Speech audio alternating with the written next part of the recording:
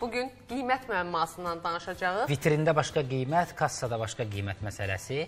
Vətəndaşlar bu problemlə qarşılaşırlar və necə addım atırlar? Mütəxəssislər, ekspertlər də deyir ki, nə etməlisiniz bu məqamda? Bax, buna xüsusi diqqət yetirmişik. İzləyək.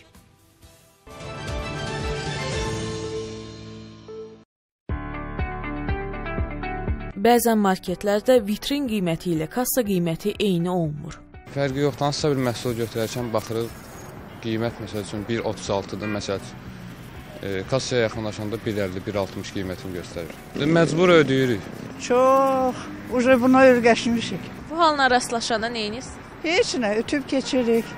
E, insan insan olaraq bir-birini yola verir. Biz də bunları belə yola veririk. Azad İstehlakçılar Birliyi sədri Eyyub Hüseynov deyir ki, bu cür hala qarşılaşan istehlakçı hüququnun pozulmasına icazə verməməlidir mütləq dükanın müdiriyyətinə irad bildirməlidirlər. Gözlərinin qabağında həmin qiymətin dəyişdirilməsinə nail olmalıdırlar. Əgər istehlakçının tələbinə cavab vermirlərsə, yəni adekvat adekvat hərəkət eləmirlərsə müdiriyyət, onda 195 qaynar telefonu xətti ilə İqtisadiyyat Nazirliyinə məlumat versinlər. Eyüp Hüseynov bildirdi ki, istehlakçıların hüquqlarının müdafiəsi haqqında qanunda müəyyən boşluqlar var bir ildə Azərbaycan vətəndaşları ümumilikdə 500 milyon manat təhcə qiymətdə aldadılır. Bu qədər aldatma var. Ona görə insanlar ehtiyatlı olsunlar və e, özümü hökumətə tutub deyirəm ki, mütləq istehlakçı hüquqlarının müdafiəsi haqqında qanun dəyişdirilməlidir. Qanun 95-ci ildə qəbul olunubdur. Köhnəlibdir qanun, müasir tələblərə cavab vermir. Bu kimi hallar marketlərdə müştəri itkisinə gətirib çıxarır marketlərdə daha çox texniki e, həll kimi göstərilir.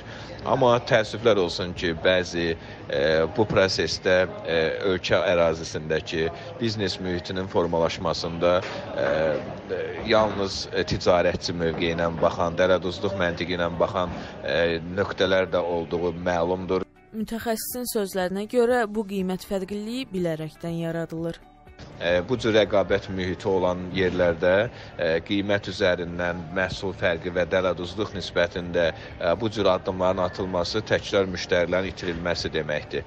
Anti-inhisar və istehlak bazarına nəzarət dövlət xidmətindən sorğumuza cavab olaraq bildirildi ki, istehlak xüsusiyyətinə və ya keyfiyyətinə dair istehlakçıların az miqdarda aldadılmasına görə sahibkarlar müvafiq məbləğdə cərimə olunurlar. Burada az miqdarda dedikdə 300 manatdan yuxarı olmayan məbləğ başa düşülür.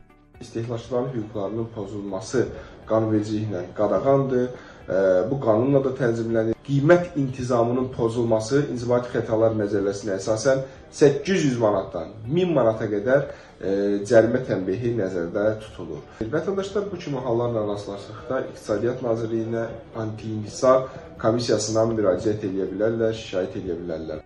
Qeyd edək ki, qiymət intizamının pozulması vətəndaşı 300 manatdan yuxarı zədər verdikdə cinayət məsuliyyəti yaradır. Bu cür dələduzluq halları isə daha çox nağdsız ödənişlər zamanı baş verir.